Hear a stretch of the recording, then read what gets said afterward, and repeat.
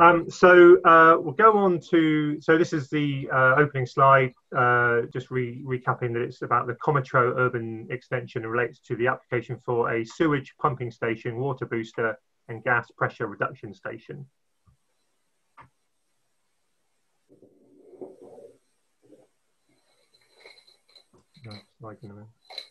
Okay. So the outline application submitted in 2014 and determined in August 2019 approves a residential and mixed use urban extension at Comeytrowe to include up to 2,000 dwellings, employment land, a primary school, a mixed use local centre, and a park and bus facility. As, as well as now progressing and submitting reserve matters applications for the dwellings themselves, the Development Consortium has submitted an application for the erection of a foul pumping station, water booster station, and gas pressure reducing station. The application reference 42 slash 20 slash 0042 has required officers to engage with the statutory undertaker, Wessex Water, and the applicant to ensure all questions, concerns, fears, and objections that have been raised so far by officers, local residents, and local councillors are suitably addressed and mitigated in order for me as case officer to make a meaningful, informed, and robust recommendation at the planning committee in the near future. Given this application represents a critical piece of infrastructure to support a very important site for SWT, in consultation with the planning committee chair, we felt it would be beneficial at this point in time for all councillors, especially for those on the planning committee, but also local ward councillors, to receive this briefing. In order to support this briefing, I am supported by Gillian Sanders and Mike Gale from Wessex Water, Lawrence Turner from Barton Wilmore, who acts as the planning consultant for the Development Consortium, and, and John Heath from Stantec, who provides the technical advice and support to the Development Consortium on these matters.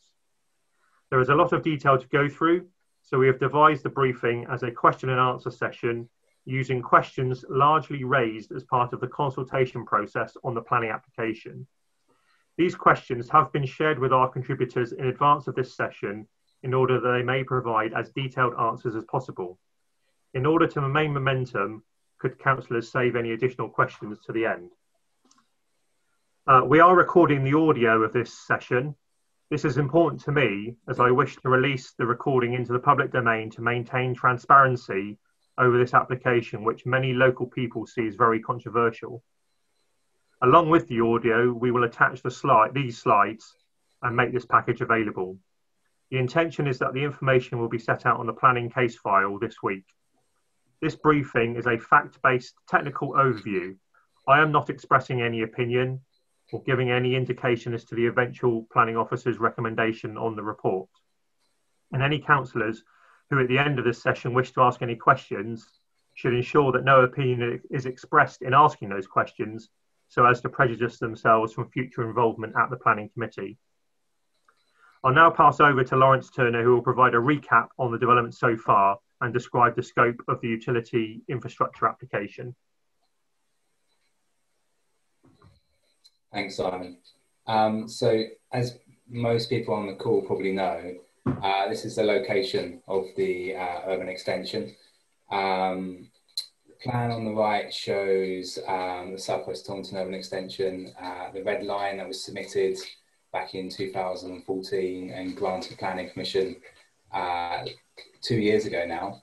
Um, it identifies, as Simon says, a site for up to 2,000 homes, uh, a park and bus site, um, local primary school, uh, and uh, a local centre with um, small small retail. Um, it also includes, um, I'd say, about 120 hectares of land um, between the A38 um, to the uh, west of the site and down um, to Honiton Road, uh, Trull, which is the other access point into the site. So let's flick on to the next one.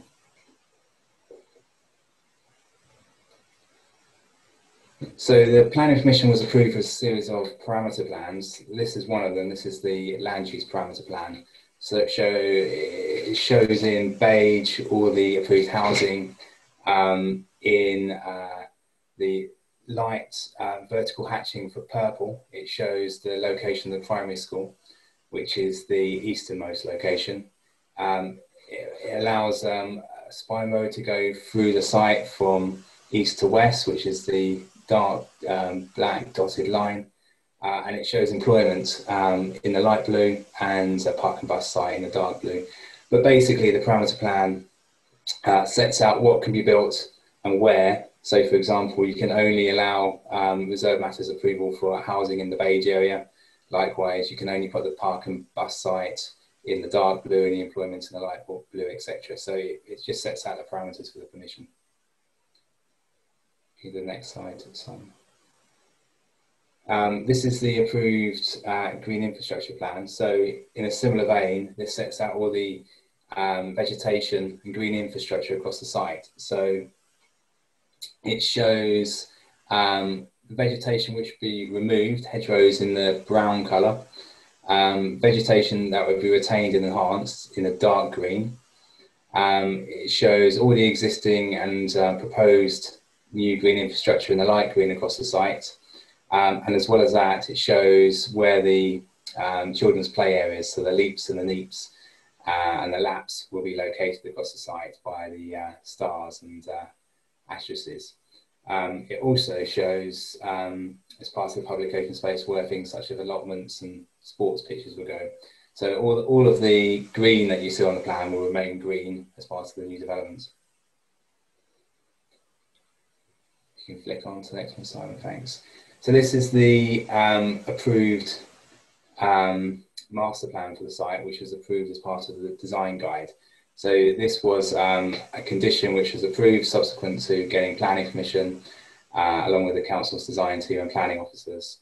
Um, and it sets out um, a master plan for the western neighbourhood, so for the first half of the site, uh, and a framework that um, subsequent reserve matter applications for housing will need to follow. So you can see um, it's got the approved A38 access roundabout, park and bus site. Um, to the south of that, the employment zone. Um, and then if you follow the spine road through to the middle, you've got the local centre um, and the spine road continuing up um, to the edge of the site where the primary school will be located.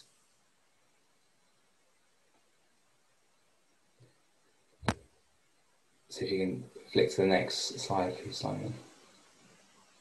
So this is the um, location plan that accompanied the application for the pumping station.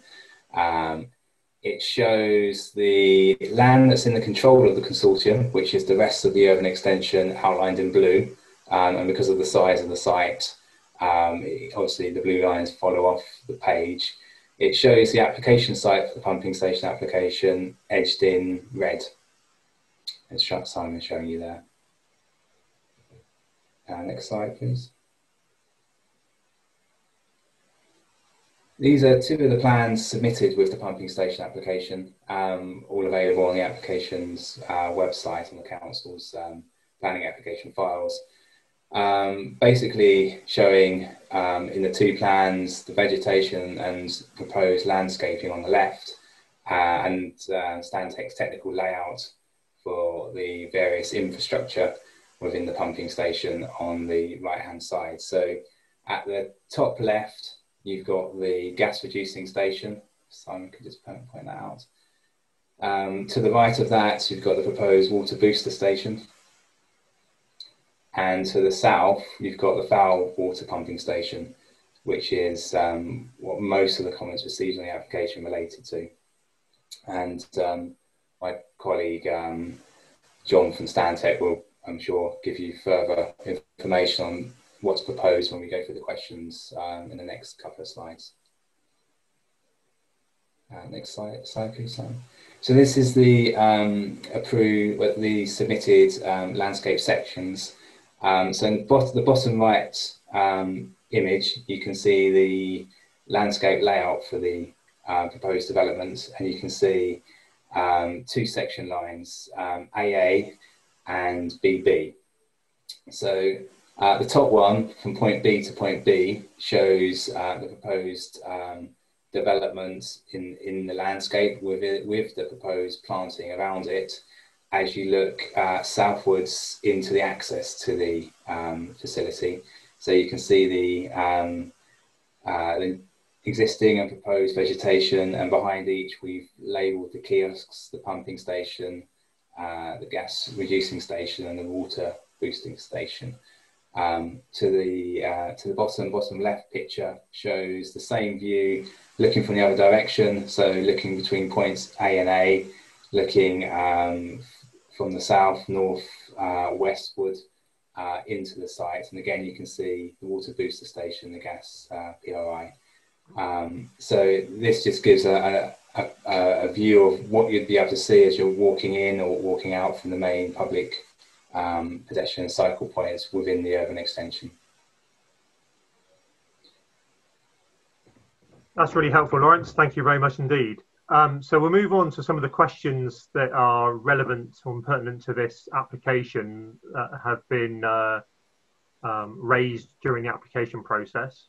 And the first question we're going to start with is, what is the situation with this application and the phosphates issue on the Somerset Levels and more? The situation uh, this, with this pending application is that it's not caught by the phosphate issue insofar as in itself it is not a generator of phosphates in consultation with the county ecologist, a habitats regulation assessment or HRA has not been required. However, any pending or future reserve matters application that includes dwellings will require an HRA, and these will be detailed in the officer's reports as and when those applications are referred to planning committee. So the next question we're going to start with the uh, pumping station uh, aspect of this development. What is a pumping station? Who is building it and who manages it? At this point, I'd like to bring in uh, Gillian Sanders.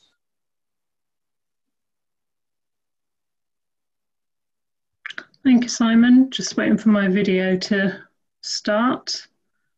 Might might have the pleasure of seeing me, you might not. we can see you. We can see you. All right, excellent. All right, well, well thank you, Simon. Um, thank you, councillors. So what is a pumping station? So foul sewage, and that's waste from bathrooms and kitchens, will drain by gravity to a foul pumping station and an underground wet well.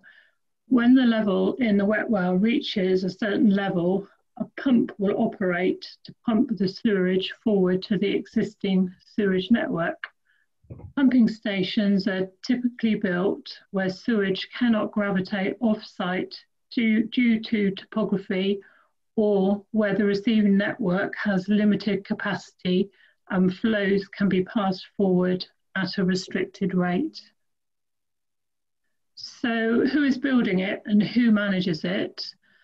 Currently, the developer is proposing to construct the pumping station to adoptable standards and that's water industry standards. So our own design and construction guidance and offer the pumping station for adoption by Wessex Water. For a site of this size, there are other options and the developer can choose to have the on-site network operated and maintained by a NAV. A NAV is, stands for New Appointments and Variations so they're regulated by Ofwat in a retail wholesale, wholesale environment. That's something new to the water industry, and it's in effect opening up the industry to competition. So we would then become the wholesaler of our, our services, and the NAV would offer a retail package, being the owner and operator of the network on site and if you like, paying Wessex Water to take the sewage away at a particular point off site in bulk. Um, a new appointee has the same duties and responsibilities as a statutory water company.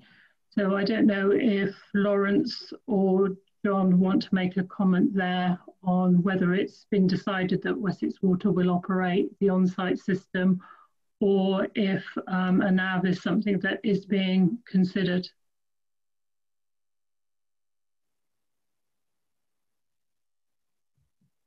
So I don't know if uh, got anything to add on the um, the consortium decision on uh, whether they're going to sort of take the um, system to the open market, if you like. I guess the only thing that I would add is if the um, if if that is the route the consortium go down, then the um, uh, the, the, company taking on that infrastructure would be under the, exactly the same obligations as the water authority for the area, which is obviously Wessex Water.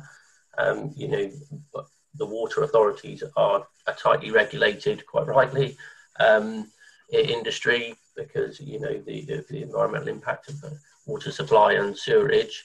So I, I, don't know if that decision's actually been made yet, Lawrence. I mean, this, we're at a planning stage, aren't we? And, and those things do sometimes come through the detailed design stage. Yeah, that, as I understand it is it is likely to be the case, but we haven't had confirmation yet um, at this stage. But um, as soon as we do, we can pass it on to the council, uh, who can feed it through Simon Fox to um, councillors. Okay, well, thank you. Let's move on to our next question, which is to unpack the anatomy of a pumping station. So I'll go back to Gillian for this. Is there um, a picture on the next slide, Simon? Yep, there it is.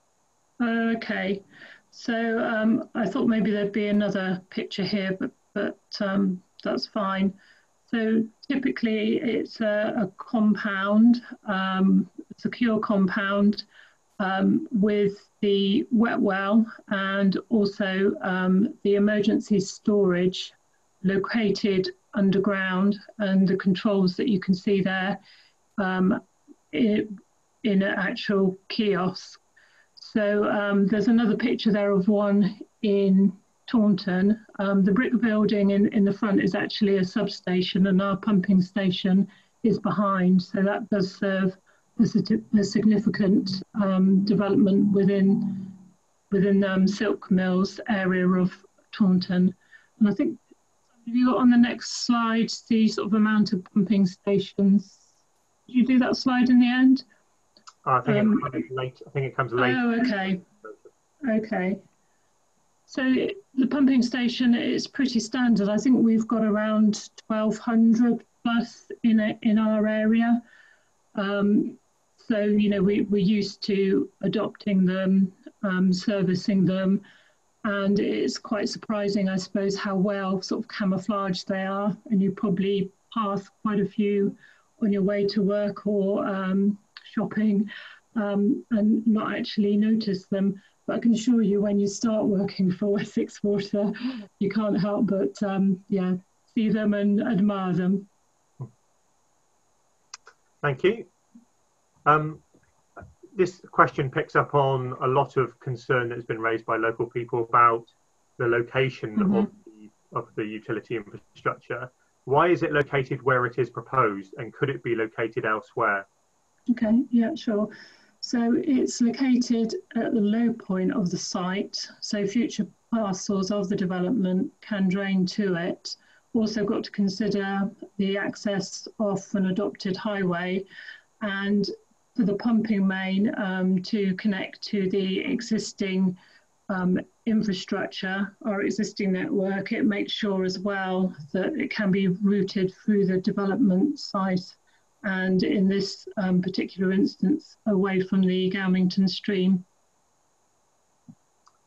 Okay, is there anything to add, John, Lawrence, at all on that? I talk about the um, the sort of flood zones in the locality of the application, don't I? Later, so I will touch okay. upon the the, um, the, sort of topography within okay. that to, to deal with that there. Fine. Okay. Well, let's move on to the next question, which is why wasn't the pumping station included in the outline application? Mm-hmm. So when the outline application was submitted, um, Wessex Water considered a gravity connection to a sewer running parallel to the Galmington stream.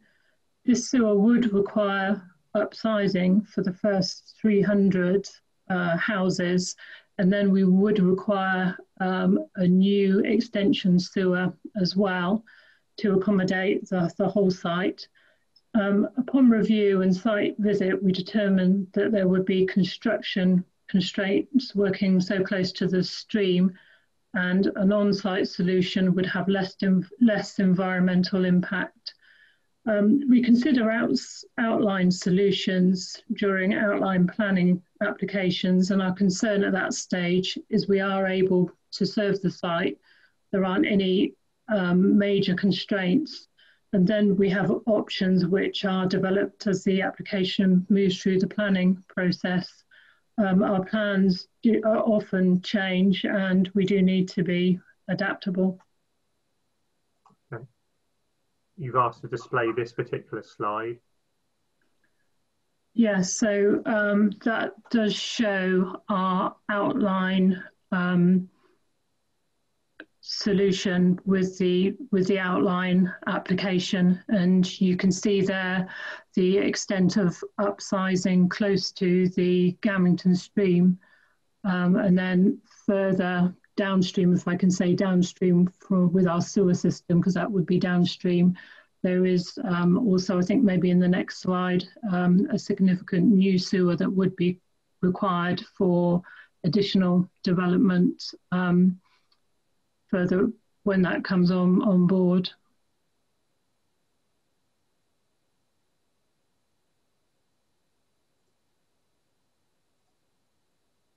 Yeah, so you can see it there.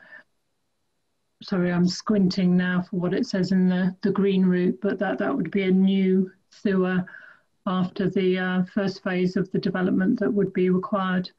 And so you know, we were looking at significant constructability constraints working so close to the Galmington stream, and that's why now um, our strategy has changed. And if you do look at the 2014 application and the report from Peter Brett, it still does say that we would need uh, storage on site to hold back the flows and that storage would be determined um, as part of the detailed planning application. So even though um, the 2014 doesn't show a pumping station, there would still need to be storage on site with that solution. Okay, thank you. Um, another question raised is about uh, flooding in the area. Um, so is the development within a flood zone? And uh, there's reference made in some uh, technical representations about water compatible development. So what is water compatible development? Yeah, so um, the development is outside the flood zones. Um, if you look at the NPPF guidance, you will see what um, what it is water, water compatible development and it does include um, utilities infrastructure, including pumping stations. Um, and if a pumping station is at risk from flooding, from fluvial or pluvial flooding, there are measures that we can imp implement to ensure that it is not impacted. Okay, thank you. If I bring up the flood zone map and ask John just to comment on this. Yeah, so um, uh, as engineers, um, we like to look at things in, in terms of uh, probability of flooding in any one year. Um, so, uh, yeah, we, we obviously, uh, everything is at risk from flooding, um, and then it's the probability of, of, of, that event occurring in, in any one year. So, this plan on screen hopefully shows all the, um, the flood zones associated with the, the Galmington stream. Um, and uh, the next slide gives a little breakdown of, uh, of, of, those flood zones. So um, the, the light blue is flood zone three. Um, they range from, from one to three for low probability to, to a, a high probability. Um, the, I think the, the reason that the, um, uh, the um, flood zone questions come up because the original application showed a, a, a, portion of the storage within one of the flood zones. Now, as Gillian quite rightly highlights, pumping stations and water transfer infrastructure are um, what, what, we call um, flood compatible infrastructure. So, um, because of the nature of pumping stations, need to be located at the low point of sites. Often, that's areas that are at risk from flooding So, um, you know, the design of the pumping stations are that they're sealed infrastructure, sealed rings, sealed uh, covers.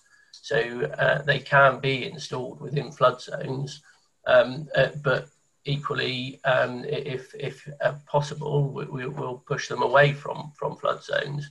So, I mean, that, that sort of tweak to the application does, um, you know, highlight the need for it the, the infrastructure to be at the low point because everything's got to gravitate down to that low point, be collected and then pumped away.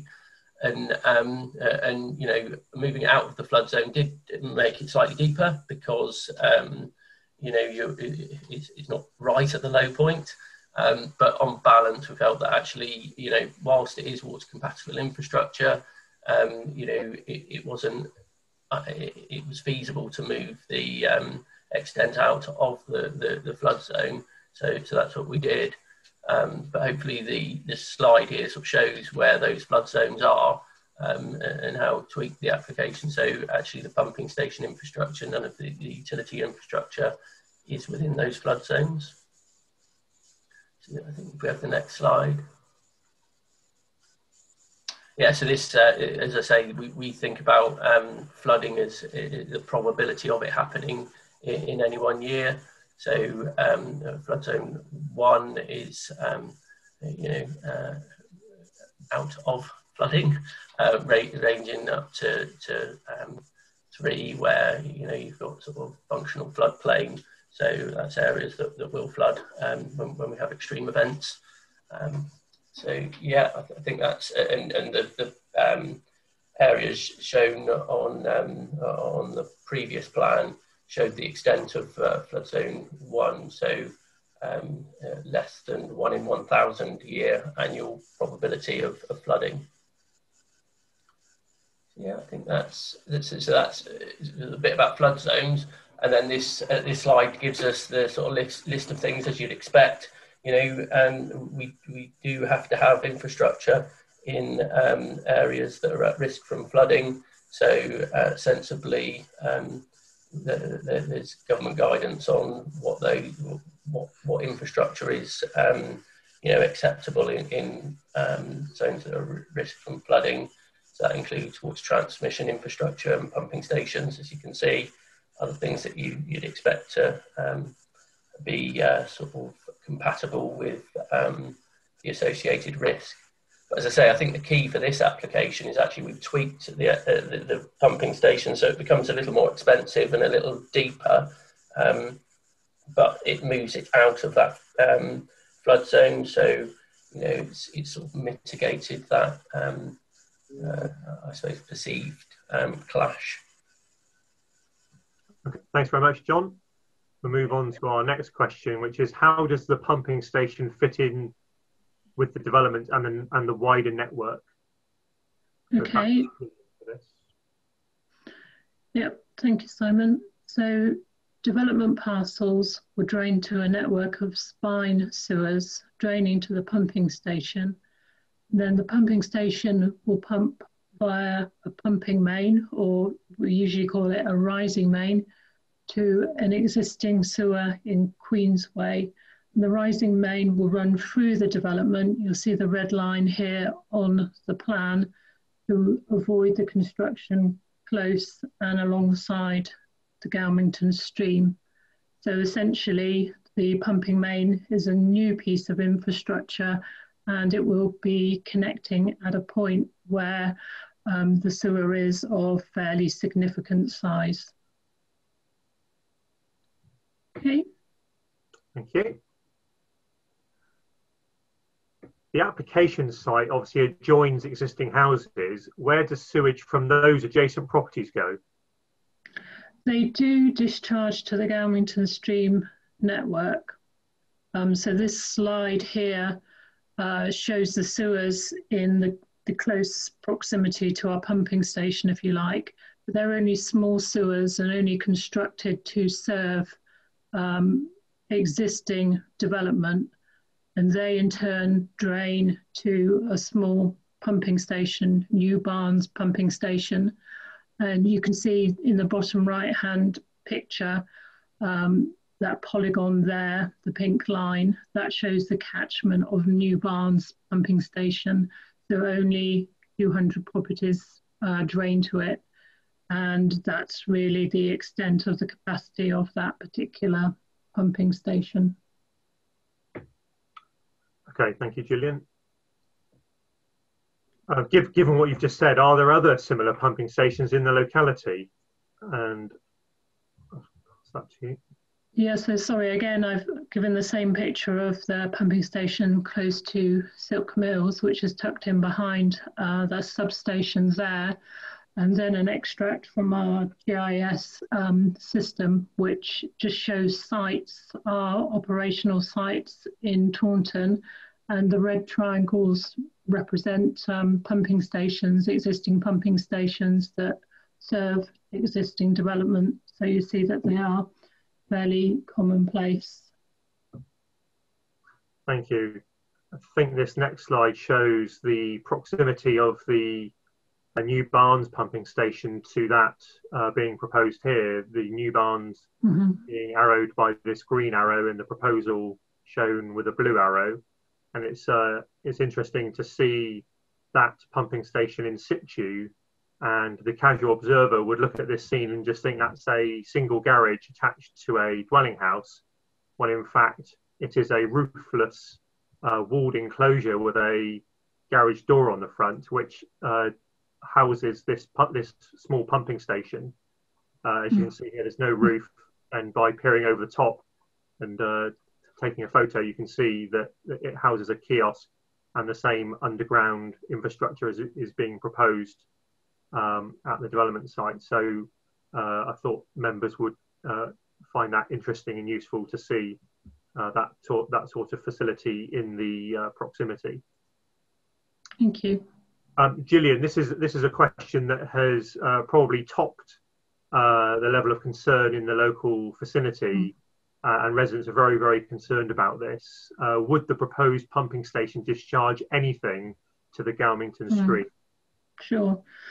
Um, so some older pumping stations have sewer overflows with Environment Agency permits to discharge to watercourses during storm or emergency conditions. So this is where systems are combined. Um, so that means they take both foul drainage from kitchens and bathrooms and also surface water from impermeable areas, so your yards and your, your roofs so when it rains, they do react to rainfall and overflows are needed to protect property from sewer flooding.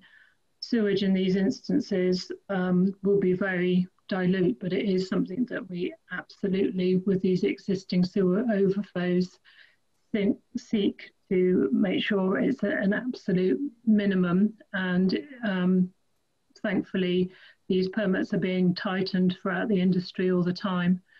So the new sewage network serving Comeytrowe will transport foul flows only, and the network will be designed and built to accommodate foul flows from bathrooms and kitchens. There will be no storm response, so there will be no overflow, and additional storage, so that's our emergency storage, will store flows if there is an emergency, such as a loss of power. Uh, alarms in our control centre sent from the station by telemetry will alert our operational colleagues of any issues. Those six hours worth of storage will be constructed. So they've got six hours in effect to um, attend to the, the station and sort out any issues.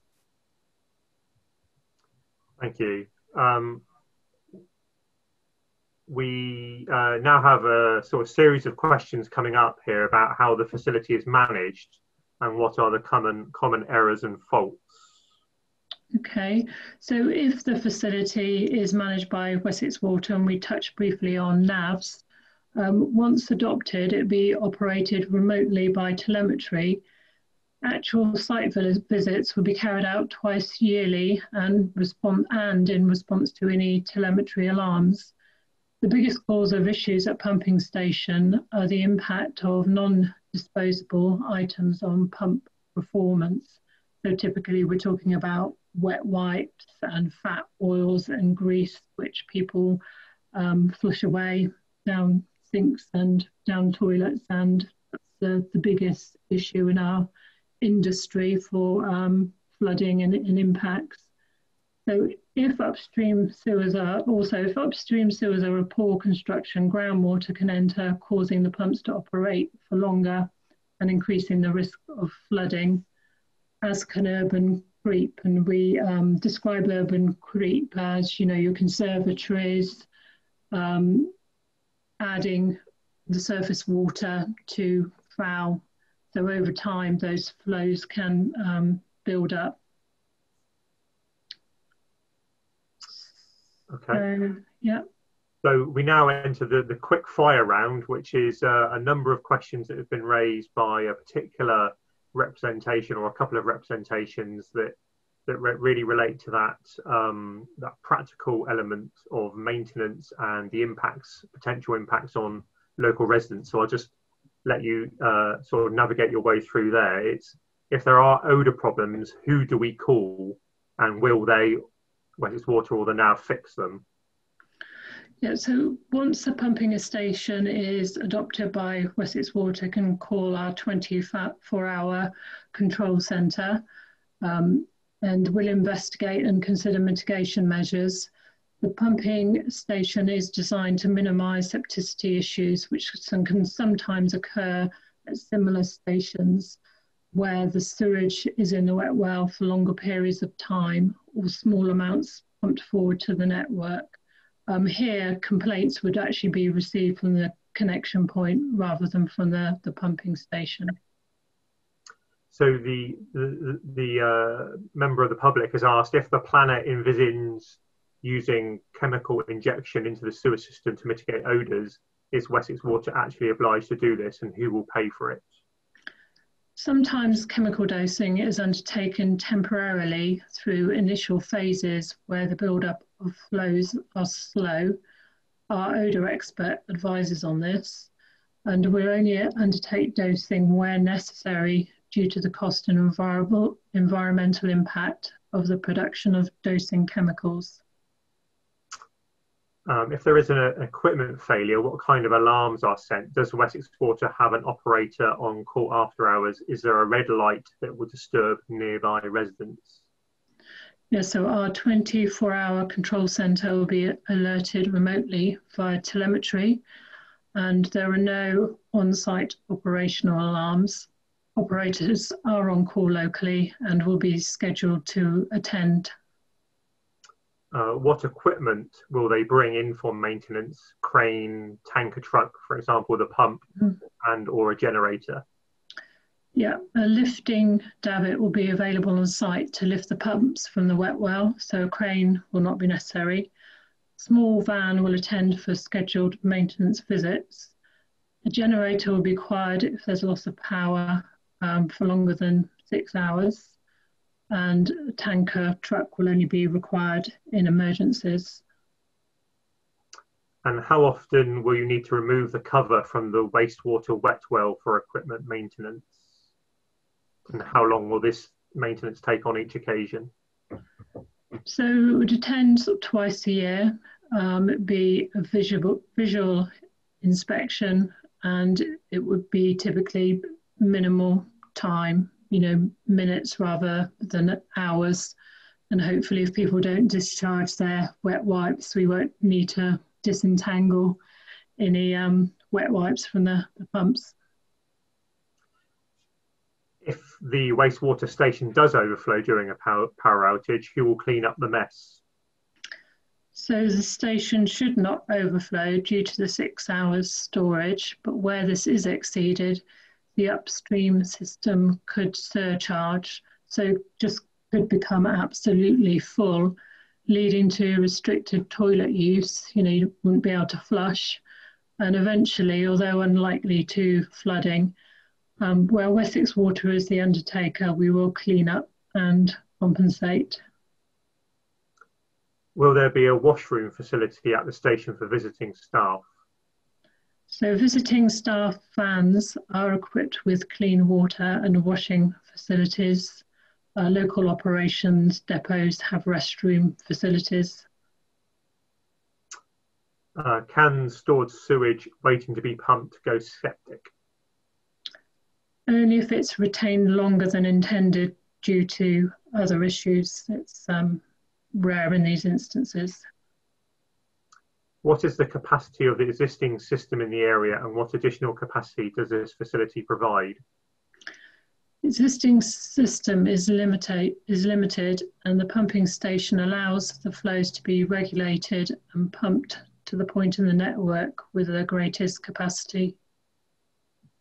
Uh, the local resident asks, why isn't there a generator on site?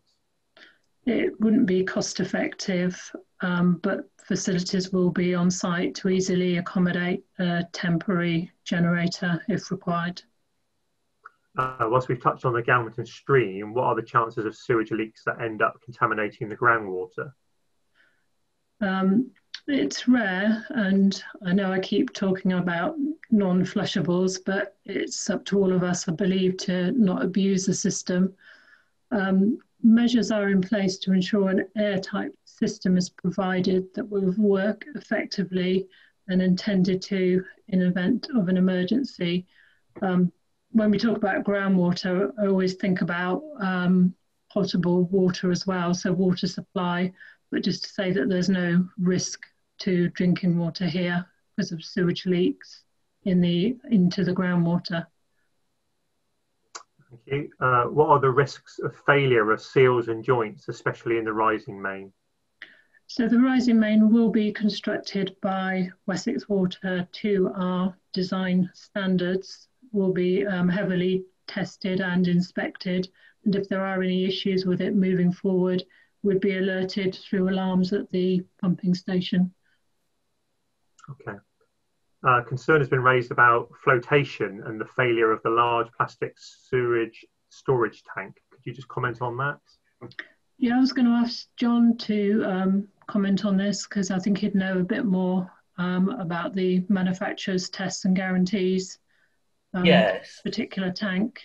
Yes, thank you, uh, Julian. Yeah, as I say, um, as I said uh, previously, this the, the, the status of, of um, the is at a planning stage at the moment. So, um, it, following planning, um, it would move through to a detailed design stage, and at that stage, you would undertake a flotation check. So um, the, the plastic tanks themselves would be uh, a part of uh, approved by Wessex Water. So they'll be um, on their list of um, standard equipment. And the um, flotation check basically checks against um, where, where you've got a raised groundwater table and a, a, a predominantly en- empty tank with air void in it um, the groundwater can push up on those tanks. So it's a simple calculation you always do for large underground structures. Um, uh, the, the, uh, you do a flotation check, and the um, mitigation against flotation is normally a, a concrete slab. So it, the, the flotation check would determine whether the tanks would have a concrete cover slab or um, a granular bed and surround. Um, so that's a, a, check you'd do through the detailed design stage um, not yet been done on, on these particular tanks, but um, you know you would check against flotation. Okay, thank you, John. Um, Gillian, we've we've talked about uh, visitation of the site by uh, Wessex Water staff. How would you access the compound during an emergency if Comeytrowe Lane is flooded, as it is known to do? Yeah, so if we couldn't get to the pumping station and needed to during a flood event. Um, and perhaps the, the reason for that would be that it had stopped working and stopped pumping forward, is that we would bring in a, a tanker and look to access the system from an upstream um, manhole and take away, so suck out the sewage from that point. So the tanker, if you like, would in effect um, replace the pumping station for a while um, until we were able to sort out the problem. Okay. Uh, the local resident has asked, uh, will any of the infrastructure be enhanced above standard design? For example, extra linings, covers, enhanced joints and seals? Um, we would say to that that the design and construction guidance, which is the water industry standard, is deemed to be sufficient here. So during construction, our inspectors, if we were to adopt the um, infrastructure, will be visiting regularly um, to inspect the works and also do an air test to make sure it is watertight.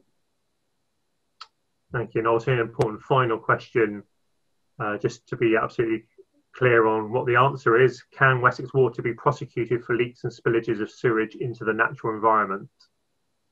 Yes, I mean, we take our role as a custodian of the environment very seriously and on environmental um, assessments and, and, targets, we are industry leading.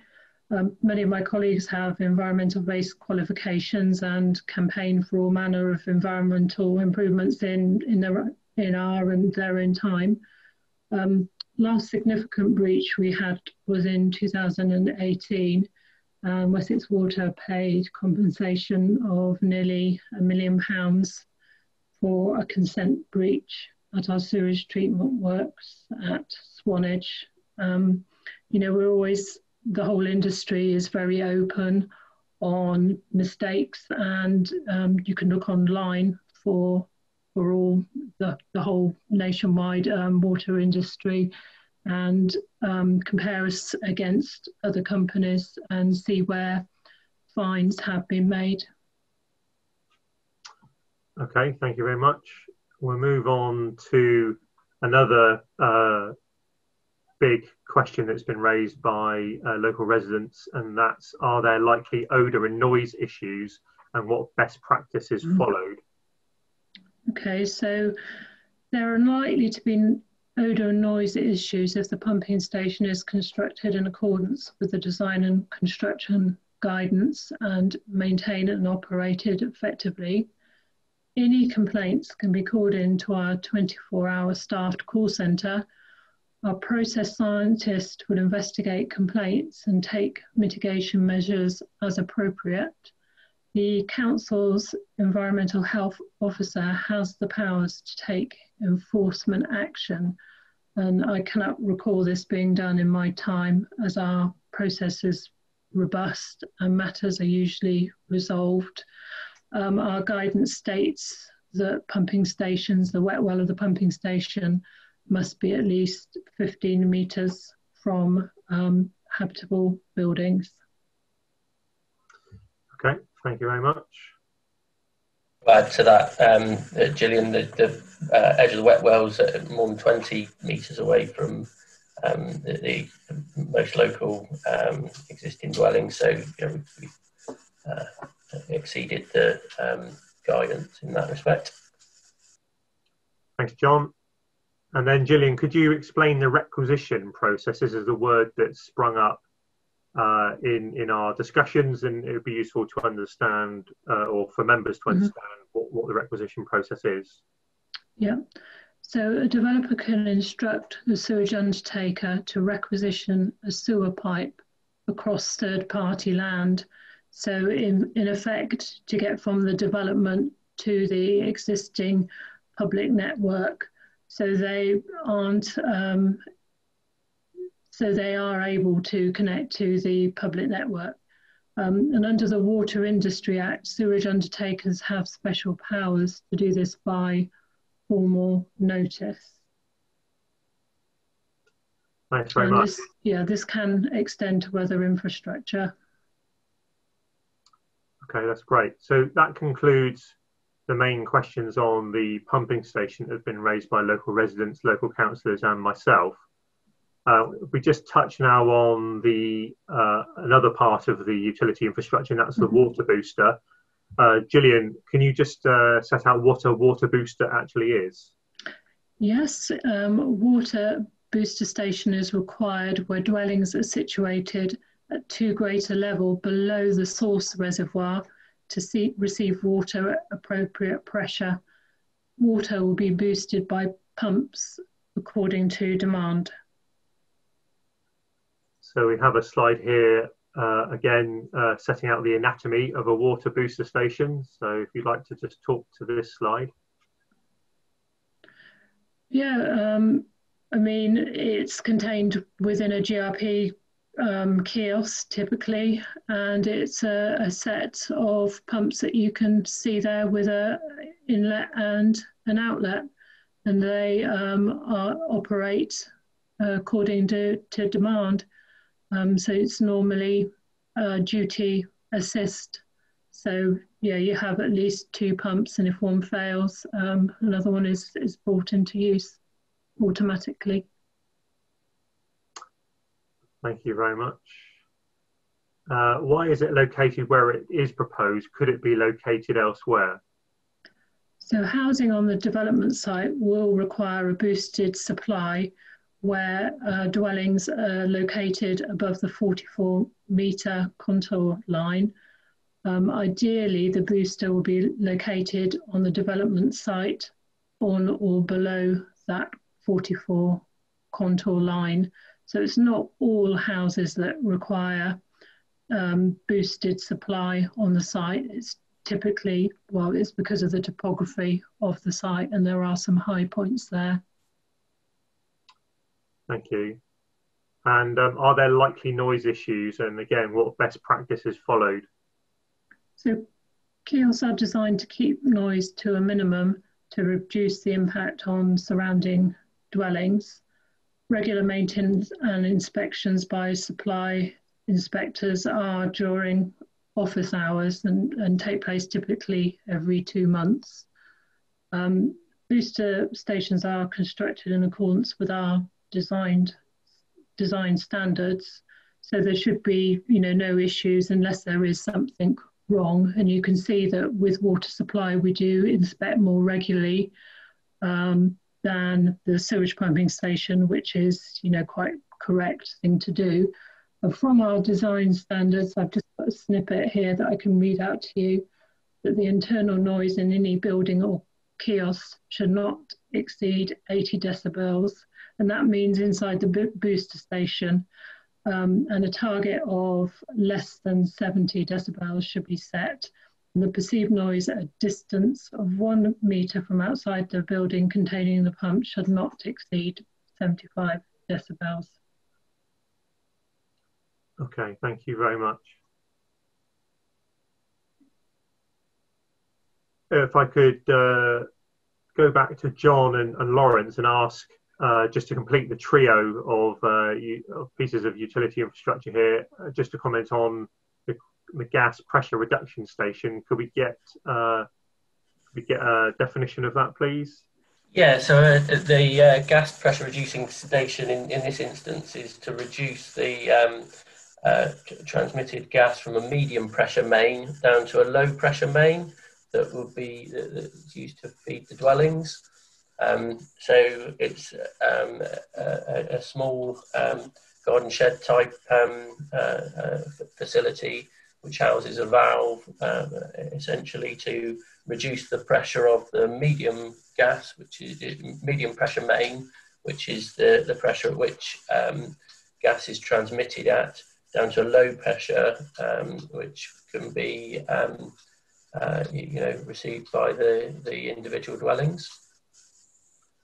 Um, I'm not sure if we've got a, an anatomy of a, a pressure reducing station. You, you, probably you will be walking past them all the time. Um, similarly with the pumping station, but you won't have uh, you won't have noticed.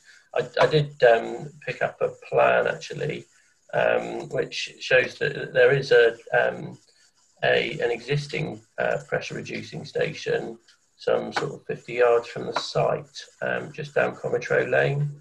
Um, if I can find that, I could probably share that, couldn't I? Yeah. So um, I don't know if I can take over the sharing. Mm, yeah. Is that going to complicate your um, your presentation? We, we, we, will release that in, in due course, I think. John. Yeah. Okay, that's fine. Yeah. Yeah. So, but that's that's essentially the um, the purpose of the gas pressure uh, reducing station to, to reduce from a medium pressure to a low pressure um, so that it can be, the gas can be connected to individual houses. So again, to follow the questions that we've raised on, on the other aspects, why is it located where it is proposed and could it be located elsewhere? Yeah, the, the reducing station is um, similarly, it needs to be accessed off a um, adopted highway um, and it's uh, local, uh, the, um, it's local to the medium pressure main. So the, the um, location is so that we can extend that medium pressure main up Comeytrowe Lane um, and reduce the pressure down to low pressure to, to distribute around the site. The main is just a, a little bit further down Comeytrowe Lane. That's why that's there. Okay, thank you very much. And uh, finally, are there likely noise issues? And again, what best practices followed? Yeah, so I spoke to GTC, who are the adopting authority. I, I, I have sort of three or four of these scale of developments on at a time. Um, GTC are, um, uh, are the utilities um, adopter on, on all of them, and um, three of them have um, pressure reducing stations um, GTC op, uh, own and operate hundreds of um, pressure reducing stations across um, across the, the country, and um, I, I, tried to um, ascertain if they that there were any noise issues that they're aware of, um, and they they've, uh, they haven't got any recorded complaints about noise issues from from those pressure reducing stations that they own and maintain. So uh, really, the answer is no. They're they're not they're not a, um, sort of emitter of noise, really. Okay, thanks very much, John. Um, so we've reached the end of the uh, prepared questions and the slides that, that we've put together uh, to inform this briefing. Um, I hope it has been informative and useful to you. Uh, this is not the end of the process, obviously, and there may well be more pertinent um, questions that need answering between now and the planning committee. Uh, but for now, can I thank our contributors for their assistance in delivering this briefing? Um, if you do have any questions, then I'll throw back to the chair to to field those questions. Again, just as a reminder, in doing so, you are reminded and advised not to provide an opinion, as you may prejudice yourself from future involvement at the planning committee. Uh, but with that advice, I'll um, hand back to the chair to uh, field any questions and uh, we'll take it from there. We have a, a, period of time before now and the next briefing, so we can use time to answer any questions that haven't been covered. Indeed. Thank you, Simon. Um, okay, I need you to stop sharing your screen so I can see the uh, uh, the participants on my screen, please, if you wouldn't mind. And thank you. Um, I've now got I've got four councillors that have got their hands up, so I'm going to take them in the order they came in. And the first councillor is uh, Councillor Habib Farbahi, please. Habib, your question. Uh, thank you, Simon. Both Simons, you know, for the briefing. It's been you know, very useful. Uh, my my questions are as follows, actually. Uh, can, can I can I actually before before I put the questions to you can, can I can I have the location plan for these multi station on on the screen so uh, everybody can actually see those. Um, and is it possible to to see the plans? No, you happy me to do that? Do that again. Sharing. Can, yeah. Simon, can you can you put those that uh, back on the screen for me? I don't have access to the slides. You see. No, no.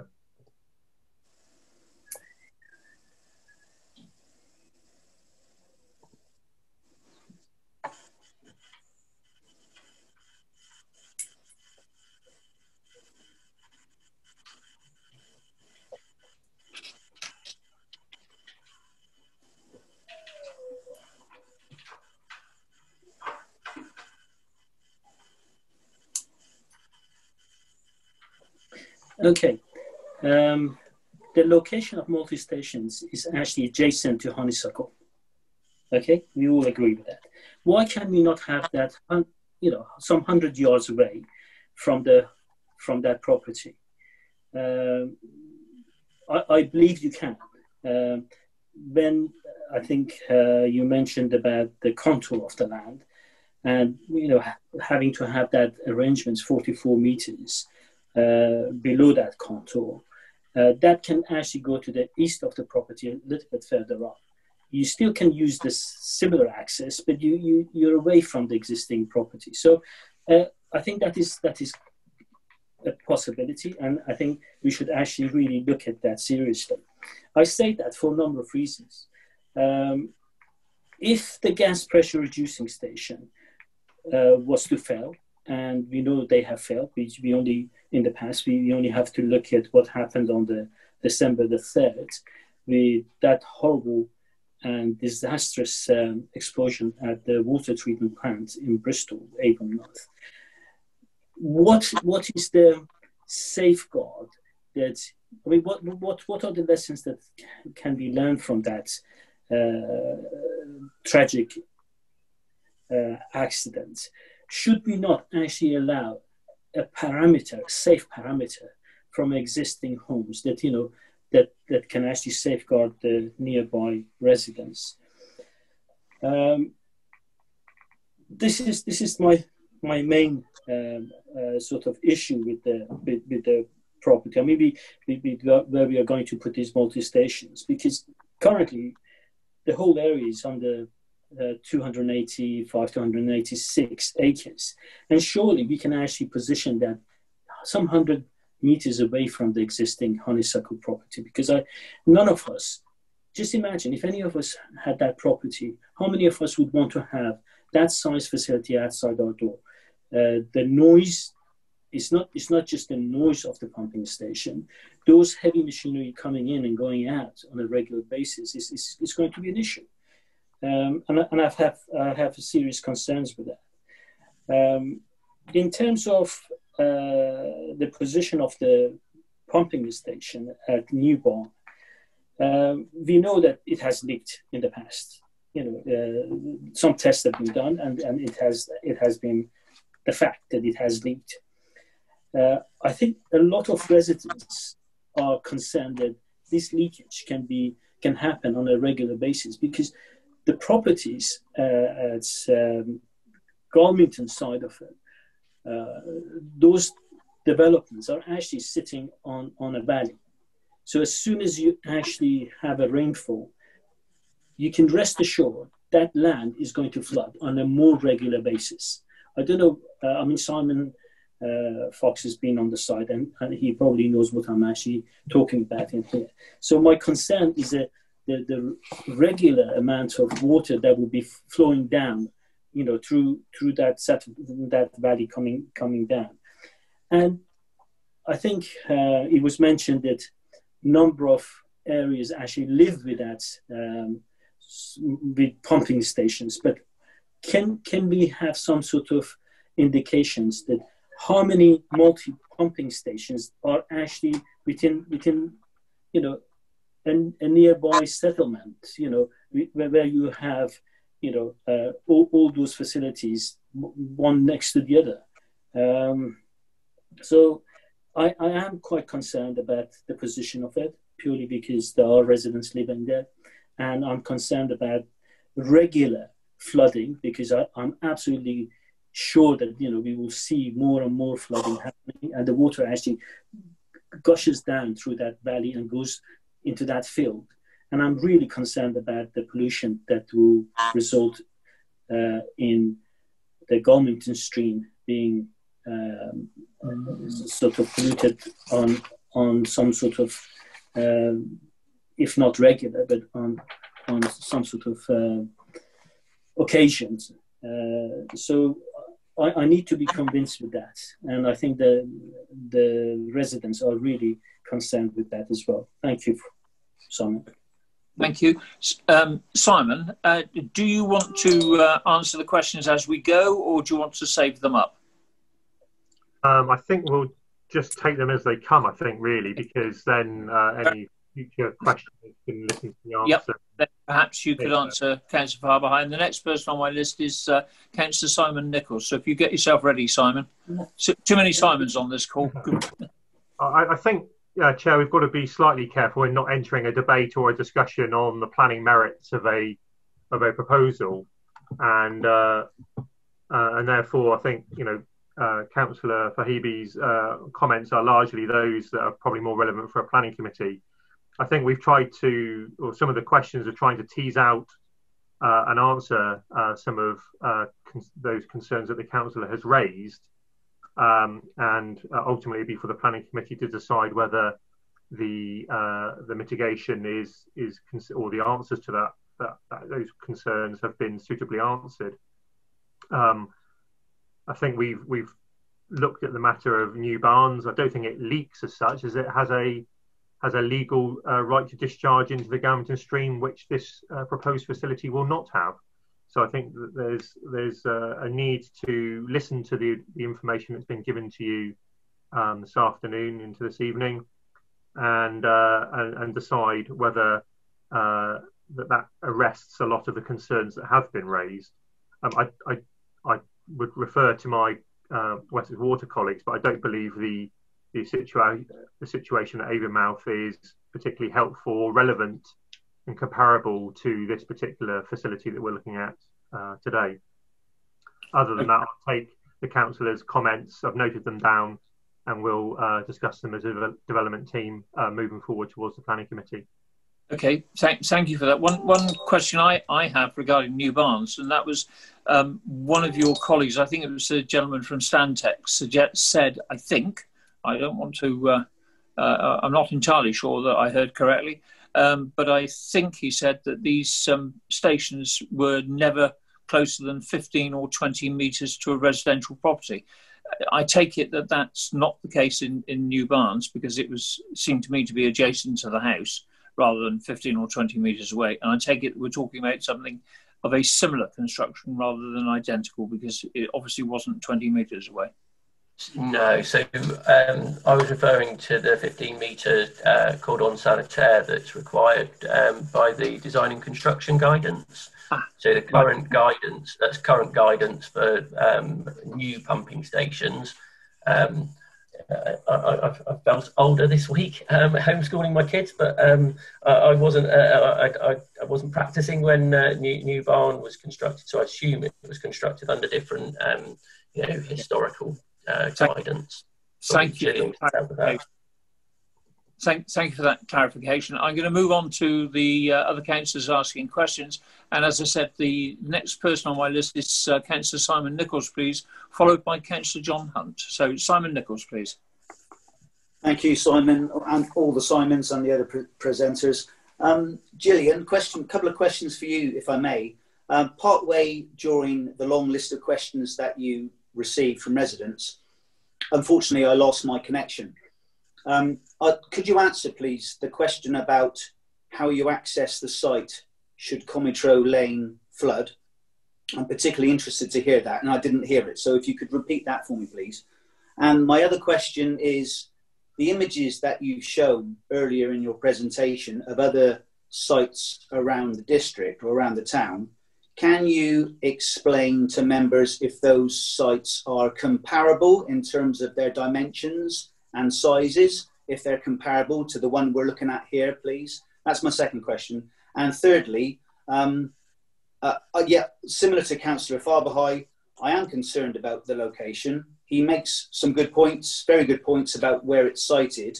And a couple of your presenters did mention that um, with landscaping and various other things, it's very easy to walk past, cycle past, whatever, and, and forget that they're there, there and not take any notice. Well, that may well be the case, but I shouldn't imagine that that's the case for people who are living next to the site. And in particular, I'm thinking of honeysuckle and other places close by and Lloyd Close, etc. It's one thing walking by, passing by, it's something else living next to it. Um, so I think exploring Councillor Farbahi's uh, comments are certainly worth doing. But the, if you could answer the first two questions, I'll be grateful. Thank you. Simon, are you okay for me to answer? Yeah, please go ahead. Please go ahead. Councillor yeah. Nichols. Right, thank you. Um, in terms of the first question, uh, with regards to if Comeytrowe Lane is flooded, we'd only need to get to the pumping station in that circumstances if um, there was a particular issue with it. We'd expect it to carry on working, if you like. Um, if there was an issue and the foul sewerage, uh, the wet well was filling up, then what we would do is get a tanker in and go to an upstream manhole and suck the sewage out of the system from there. So effectively, the tanker would become um, a temporary wet well, if you like. Um, when looking at comparable pumping stations, uh, I haven't done a complete analysis of all the catchments, um, pumping station catchments in Taunton to see how many dwellings they um, accommodate. We know that New barns is about 200, Comey is going to be about 2,000.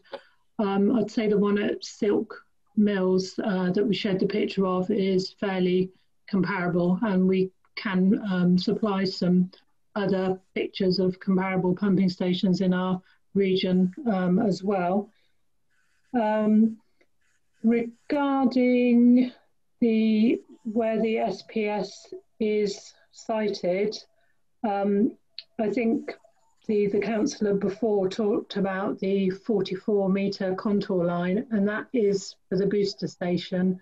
So that's where any properties above the 44 metre line we do have to boost to, and the pumping station needs to be sited below that line. But the foul pumping station, that is different and it does need to be at the low point of the site. I think the point I would make, Gillian, just to support that on uh, uh, in the position of the foul pumping station, um, you, you, know, I'm a civil engineer by trade, and we've we built lots of um, deep deep shafts. And Wessex do own and manage lots of uh, deep deep shafts. But I think the, the, the, the, position of the pumping station is such that um, the wet well and manhole become a, a, a, sort of what we call a traditional um, construction. So it, it's not so deep as to need um, special uh, construction methods. The further you move it up the hill, the, the incoming sewerage is still at the same level. So if you move the station up the hill at all, it becomes deeper. And the further you move it up, the more risk you are of going into sort of special construction and um, moving away from a, a, more standard construction. So it, it, it is important, and, and, and that has cost and, and implementation implications, but it is important that these things are, are located at, and indeed health and safety um, implications. So it is important that they're located at the low point. Okay. I'm going to move on to Councillor John Hunt now. John, followed by Sarah Wakefield, please. John. Thank you, Simon, Simon, and everybody else that's spoken. Um, yeah, just firstly, uh, I completely agree with uh, Councillors Farbahi and Nichols on what they've said about where the uh, pumping station's uh, been moved next door to its previous uh, planning application. Um, I, I, too think it should be moved from that, and I would like to expand on that very slightly. Um, I agree, or not agree, it clearly needs to be at the lowest point available. Um, I don't actually see, as it doesn't need access to the Galmington stream, as you've already said, why this cannot be located in the centre of the development. The spine road itself will go along what I think is quite low, low-lying area. I'm not even certain it wouldn't be equally as low, if that's, uh, if that's making sense, um, to where it's going now. So quite why it couldn't be in the centre of the development. The only thing I can think that it wouldn't be, of course, it wouldn't be terribly desirable for the sale of the properties on there. But it's okay, if I may make the comment, to plonk it where, where existing residents already live. That's the first point, why it can't, why cannot not be moved to the centre. In terms of the flooding, where it's put existing at the moment, where they're proposing, where you're proposing to put it at the moment, um, it is right on the edge of the uh, flood zone three, is it not? Yes, it's not in it, but I don't see that any allowance there has been made for what is that thing now going on? Global warming, isn't it? Now, surely global warming is is a big problem, and yes, it's a one in hundred shot. That's quite high risk, I think, uh, at uh, at uh, level three. However, with global warming, surely just on the edge is going to be a problem, is it not, in the future?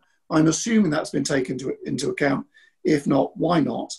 Um, second question on that, really.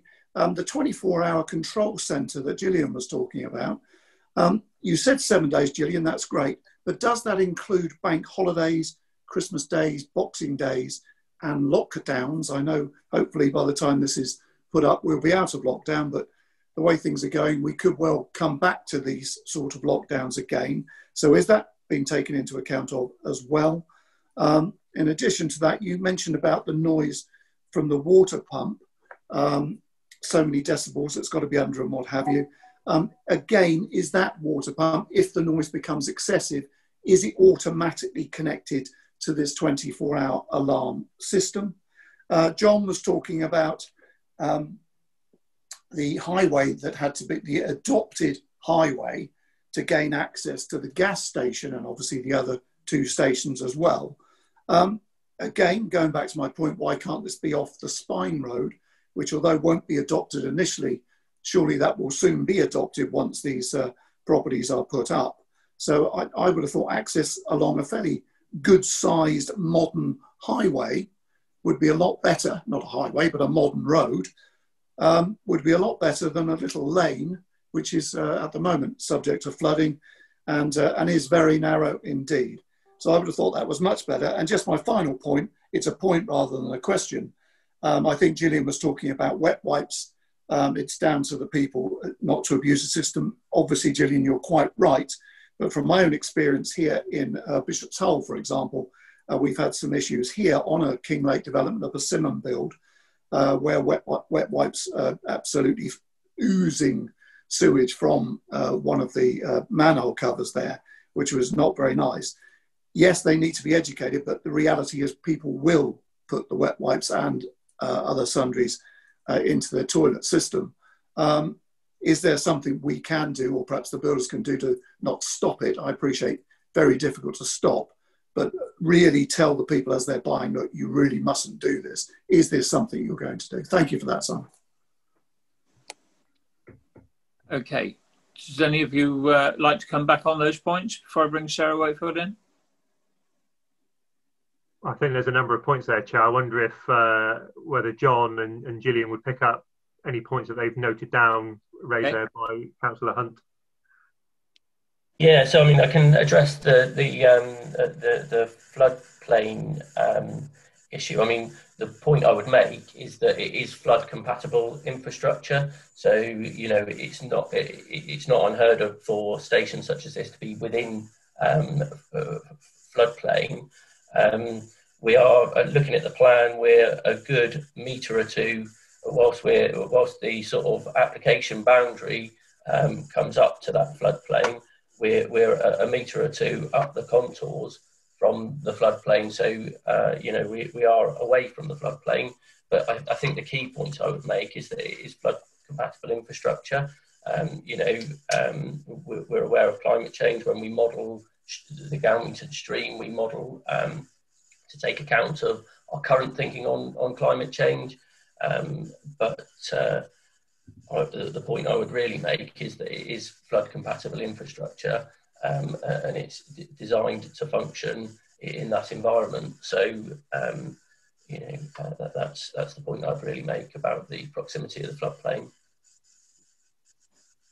Thank you. I wonder if we could just get uh, ask Gillian to just comment a bit further on the wet wipe issue. It's obviously uh, probably a corporate uh, mm. issue that you talk about all the time. So I wondered if, if you could just comment on that. I think there is a public responsibility to try and do the right thing. Yeah. Um, of course, you know, uh, no one wants these things to uh, to fail, but uh, we all play a part in in making that uh, less likely. So, what can you say to Councillor Hunt in in terms of the question he raised? Um, well, I think you know it's on a many pronged attack, if you like, educating our customers not to dispose of these products um, down the down the toilets. Also working with the, the manufacturers um, to see if there are alternatives and how they are labelling their products. And working with the house builders, um, like Councillor Hunt suggested, in providing messages to, to people when they move into um, new developments as well. Uh, we were worried at the start of lockdown and um, the shortage of toilet paper, and, and, maybe thinking then that wet wipes would increase. And for a short time, we we did see a spike in the, the use of wet wipes because of that toilet roll um, shortage. But just on another point as well that was mentioned. Our, our is our call centre and our operational staff um, working 24 hours a day, seven hours a day, sorry, seven hours of, of days a week.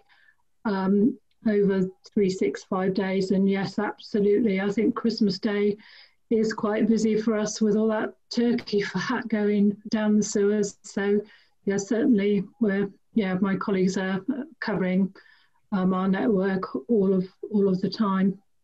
Um, and yes, both on water supply and on the sewage side. So answer queries and um, visit all all uh, uh, infrastructure whenever we, we need to. And I can't recall us having um, any complaints I, ever on noise from booster stations, um, pumping stations, and sewage treatment works. Yes, that's documented, but I can't think of um, booster stations. If appropriate, I'll come back on your question about if it could be located in the middle of the site. Um, so I've had a look at the contour maps while we've been talking. The Galmington Stream um, runs uh, through the site, um, and the, the compound is at the, the, downstream end of the Galmington Stream. You mentioned the Spine Road crossing, um, and that's several metres above the, um, the, current location. So uh, I guess the answer is, is, is similar to, to my previous point that um, you know that you would be moving that um, station up the hill, and it would be you know become significantly deeper and a, a significantly bigger infrastructure. Okay. Share the share the contour plan if you like. Yeah. Okay. Well, thank thank you for that. The yeah, may I come back on that one last point, may I? Yeah. With John. Yes, John. Yes, John. Thank you, Chair. I appreciate that. John, just a, a, point on your, your, your map, as it were, you've been looking at there. Um, I agree that the Galmington stream probably is lower than the centre of the development. Um, but actually, where, where this is going to be now, where it's actually located now outside the honeysuckle residence there, um, is that not a similar sort of height or even slightly higher? It is up the hill a bit, isn't it, from the stream? And I, I know the Spine Road is at quite a low level there, isn't it? So I really can't see why this cannot be put in the middle. So the, the pumping station in, uh, in Galmington there that we've, we've seen pictures of that looks like a garage, um, that's been put right in the middle of the development with 300 houses. Why can't this be put in the middle, middle of the development with the 2,000 houses? I, don't, I really don't understand that and why it's not. I presume it's been investigated, but I've never, I've asked the question several times and never really had an answer that's made me feel that investigations have taken place. It almost feels that no, it's not going there because that will make the properties for sale there less desirable. And I think this is a monetary thing. But please put my mind at rest, John. Yeah, no, I, I, I can uh, conclusively confirm that the you know the the topography uh, does fall towards the low point of the site, and it, I can probably uh, find out the uh, the levels. The plan I've got at the moment hasn't got the exact levels. I've got contour plans, but we're coming up probably four contours, five contours to the middle of the site. So um, yeah, it, it, it is higher, and it would would mean that the pumping station became deeper. Thank you for that, John. Thank you, Chair. Okay, thank you.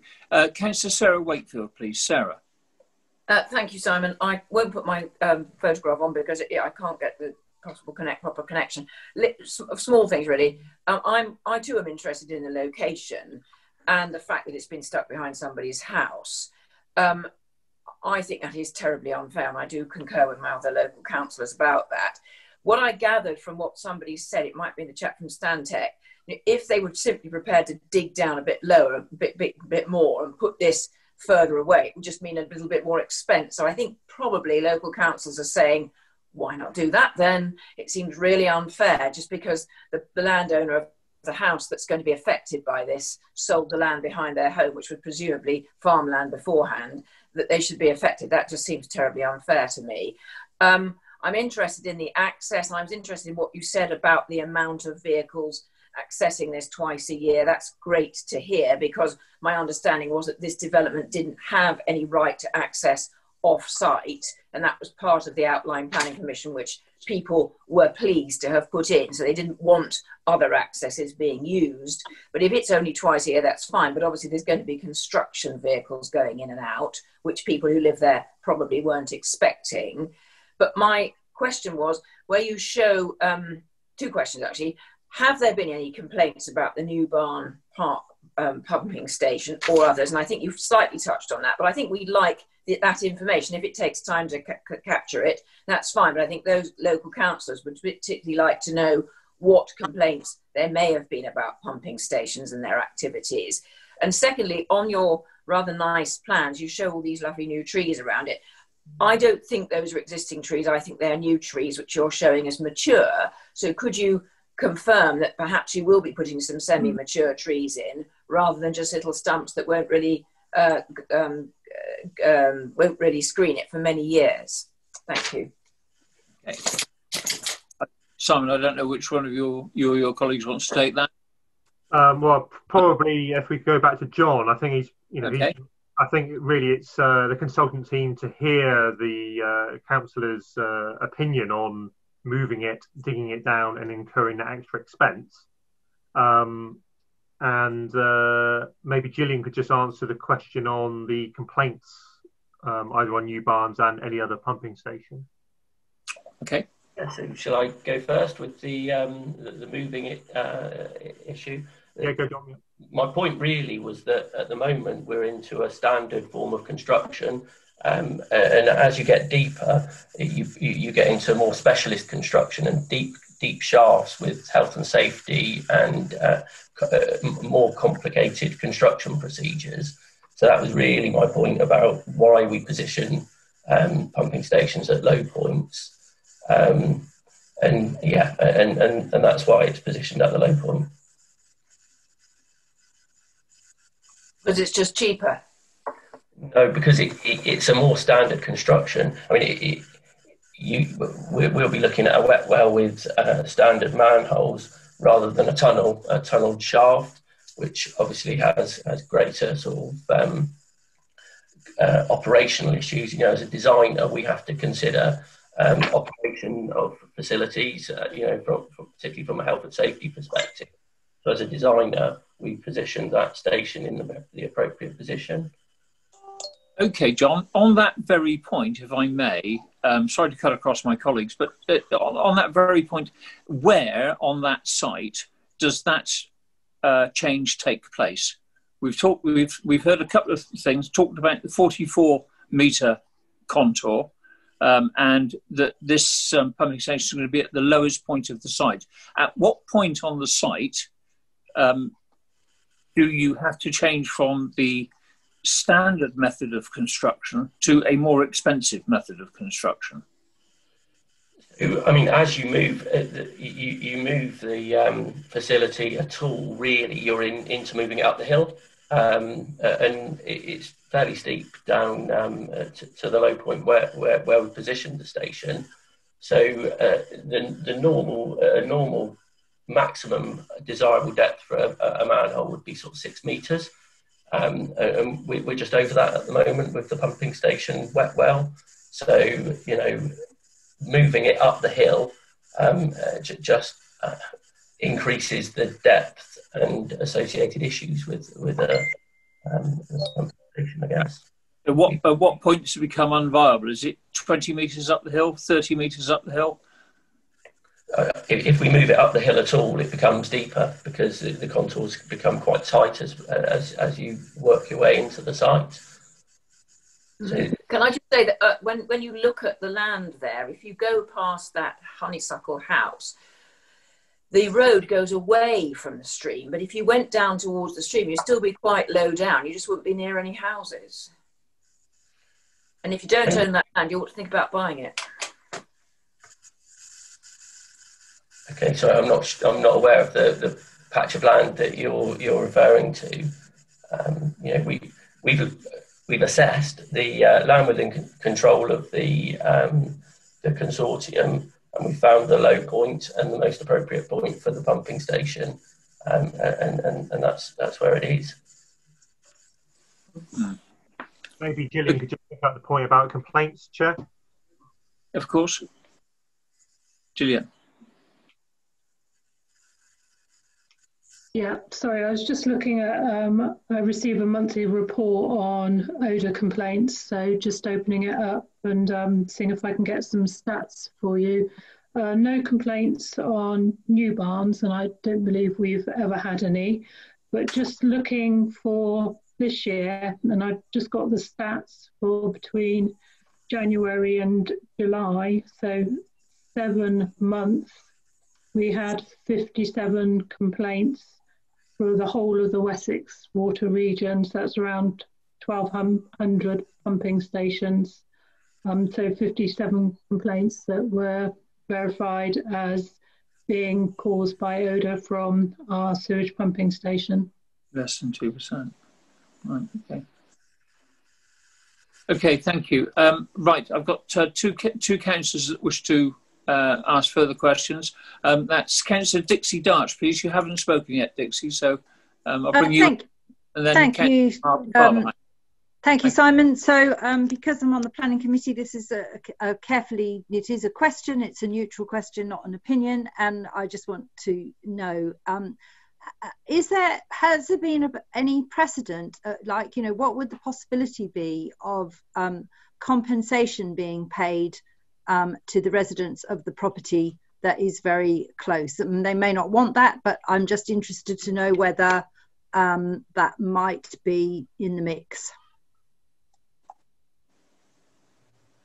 Okay. I'm not sure which one of them might pick that up. I don't know. I think I'll just comment on on on the issue generally, insofar as uh, the planning system doesn't doesn't operate on that basis, so it's certainly not a planning consideration.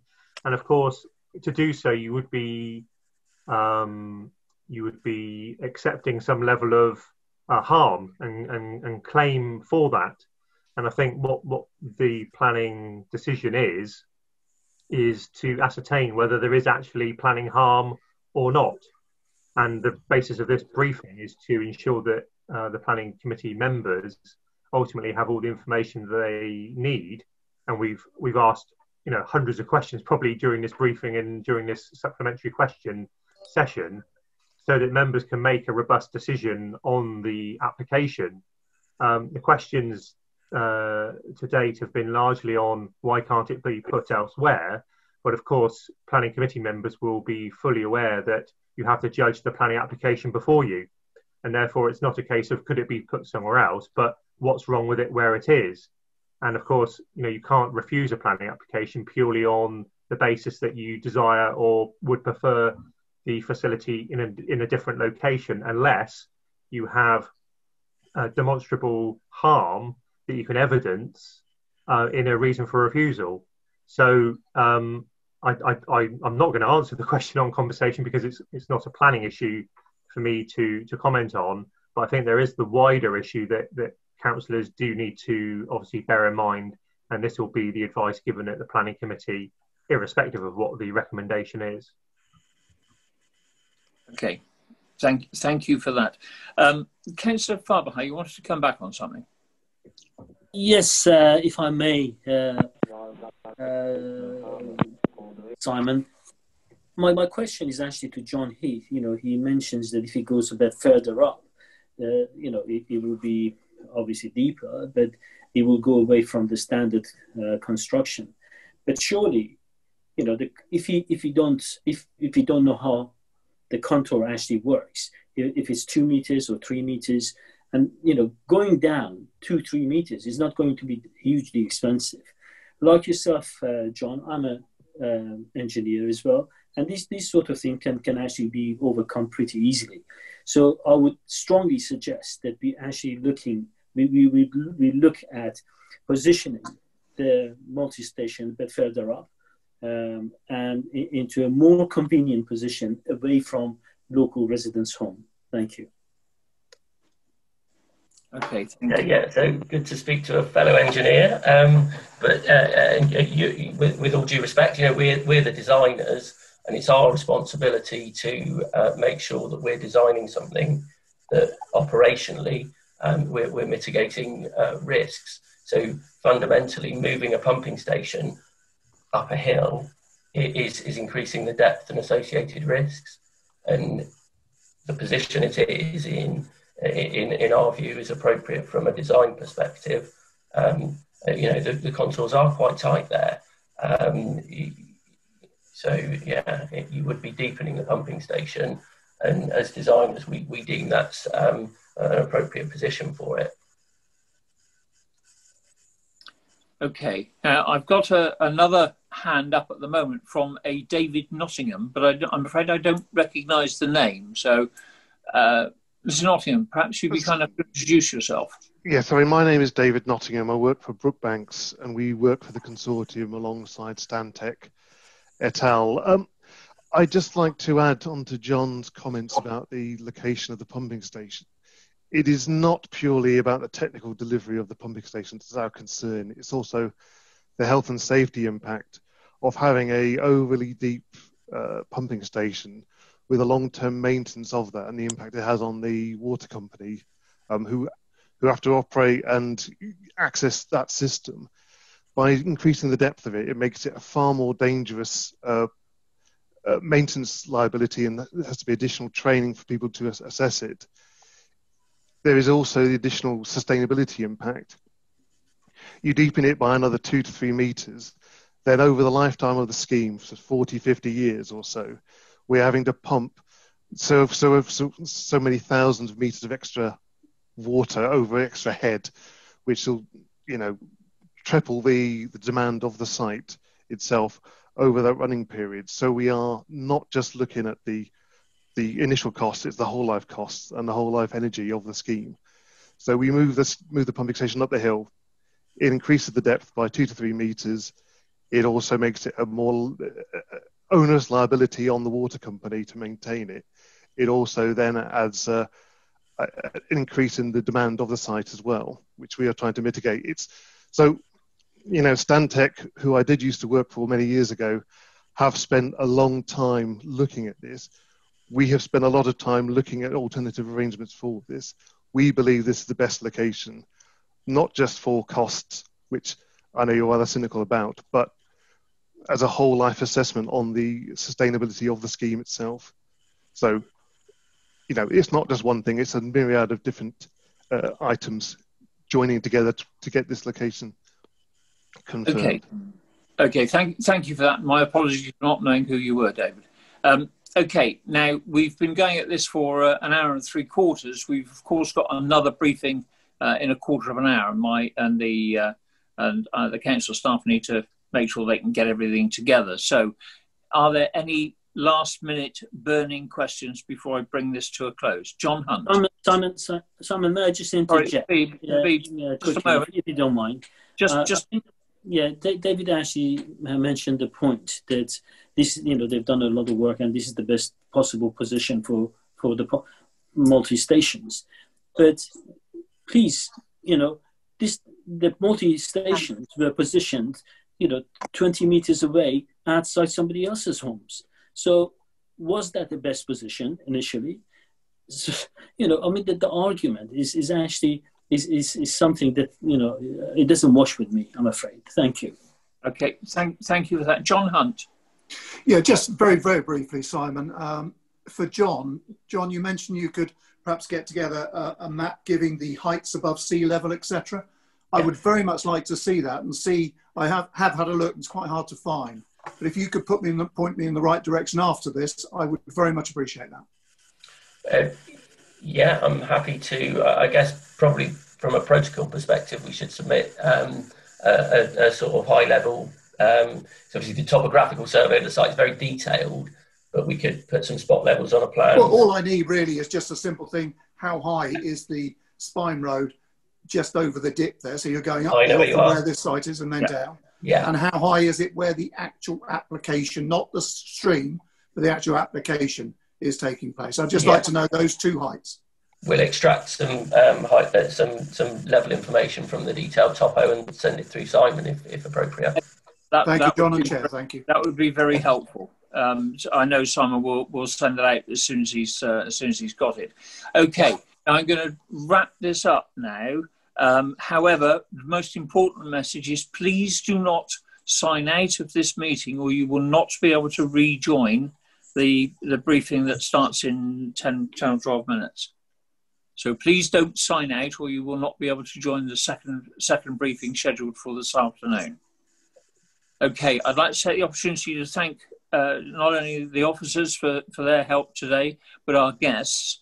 Um, and I hope that most of you have had most of your answers, uh, most of your questions answered. Obviously, if there are still things you wish to uh, uh, obtain more detailed answers, please please let uh, uh, Simon Fox know, and we will do what we can uh, in in the in the run up before this issue come this uh, planning application comes to committee.